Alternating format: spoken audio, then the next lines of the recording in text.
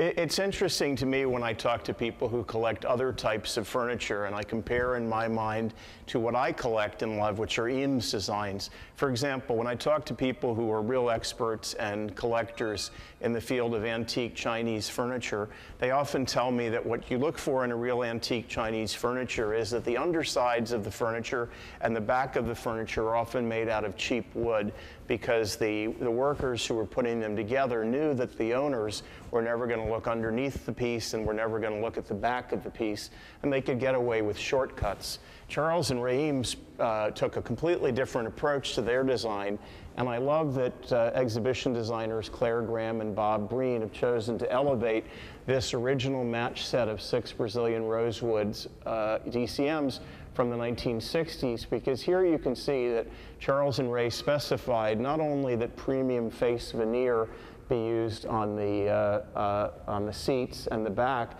but that on the parts of the chair that you wouldn't necessarily see, the back of the chair and the underside, the same premium face veneer rosewood. Because Charles and Ray felt we're giving people a product and we want to make sure that every aspect of the product is delightful and, uh, uh, and is ultimately useful.